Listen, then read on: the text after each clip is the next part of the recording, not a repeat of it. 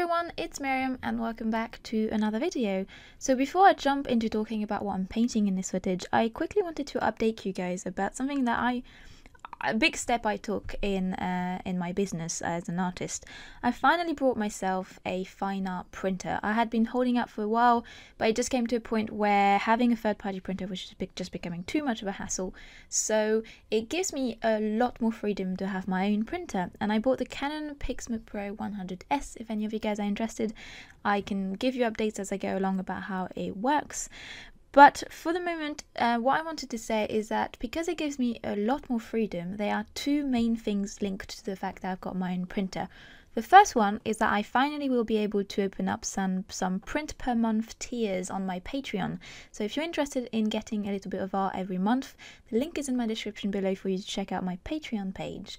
Um, some of the artwork that I will be offering up as prints will be exclusive to Patreon. So something I don't do prints of are my sketches and studies, and I'm hoping to be able to put those up for vote every month on Patreon so that you guys can choose which print you you guys would prefer as a group to receive in the post. Um, so that's the first big change, and then the second one is that because I've got my own printer now, I can finally afford to do some sales on my shop, and I'm going to be celebrating that by doing a mid-May sale, uh, probably about 20%. You'll have to, don't quote me on that because I, I, need to figure it out first. Um, but just keep an eye out on my Instagram and on my YouTube community tab and in my videos. I'll definitely be announcing the sale up here. And it's good because my birthday is at the end of May, so that means I'm just combining all the nice things in one busy month. so anyway, I'm gonna quickly chat a little bit about what I'm painting in this video. So some of you may have been aware if you follow me in, on Instagram, I've been in France for a few for a couple weeks uh, visiting my family and one of the advantages of being home is that my stepmother collects vintage and antique items that she finds in like carpet sales in Bristol, and she has a great eye for really interesting objects and that meant that I just had plenty to do loads of studies from. So this video is the first part of those studies where I did a few metal jugs and I'll have another video with the glass objects I painted and another one with lanterns I painted. So this is the first one of a triptych of videos basically. This video is a compilation of three metal jugs um, out of four that I painted when I was home. You can see the fourth one as a time-lapse exclusive on my Patreon if you guys are interested. Also, my Patreon, my patrons will get first pick of originals once they go on sale because I am planning on selling all those little studies at some point or another. I'll obviously let you guys know once they're up there.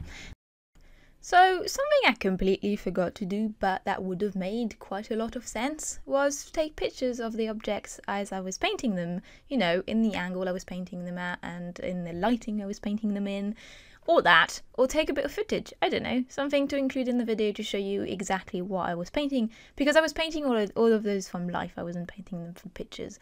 But I forgot because sometimes I'm a bit of an idiot. So, what I do have, however, are good reference pictures of each objects.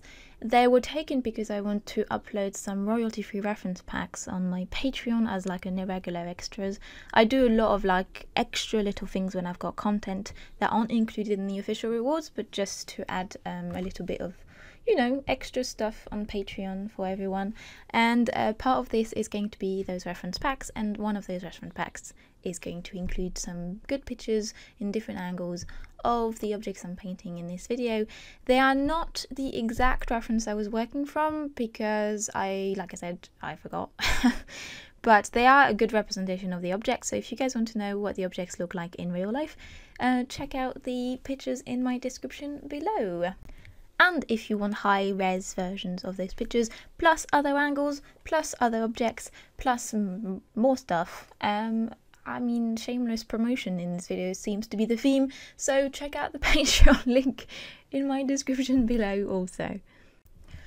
So, as I'm now starting to paint the third object, why it would make complete sense for me to start talking about the first two objects, wouldn't it? I mean, let's do that.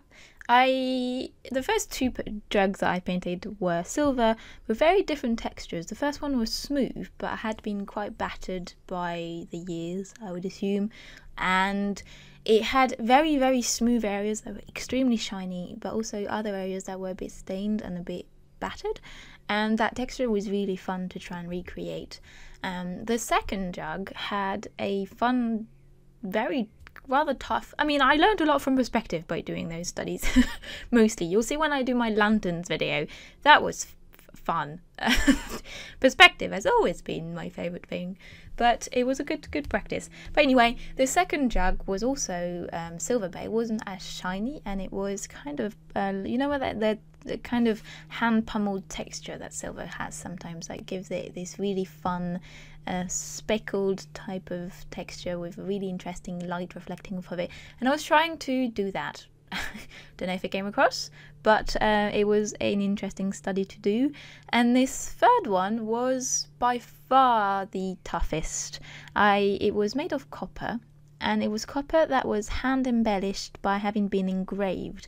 And the patterns that were engraved on the on the on the jug the edges of the patterns were engraved and the uh, body of the pattern was slightly raised. So it looked like it'd been both engraved and embossed. Um, it was stunning and it's a really really cute jug but by goodness me was it hard to paint.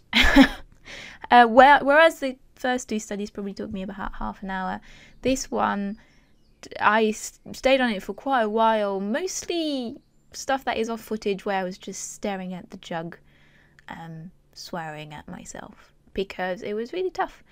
Subtle textures and things like that, where you kind of have a sudden change, but quite delicate in in uh, in volume and relief and and and, te- and well texture is really tough and it's something I really want to be able to master a bit more because I always find that those tiny details, texture details and decorations on objects can really bring out something um, can really add so much detail and narrative to a piece. So I really want to practice that, but it was really, really rather hard. Although it's nice because I feel that the more I paint, the more I become able to enjoy when something is a challenge, even if I don't manage to live up to it, if that makes any sense. So instead of actually feeling defeated when I feel I haven't completed the assignment I gave myself, uh, which, for example, is painting that texture properly, even if I if I end up not being very convinced that I've managed it by the end, I still feel really happy that I tried and I still feel like I learned. And I used to be way more down when I didn't feel satisfied with a piece, and uh, now I just kind of enjoy the process more than I used to. And it's nice. It's nice to feel that development in me and in my thought process around my own art. It's an interesting development. Um, but anyway, I hope you guys enjoyed this little compilation of paintings. Don't forget to check out my Patreon if you would like to see a fourth one and a bunch more content. Check it out also for all the new print rewards if you would be interested in receiving some art every month and I hope you guys are all really really well. Take really good care of yourselves and I'll see you next week. Bye everyone.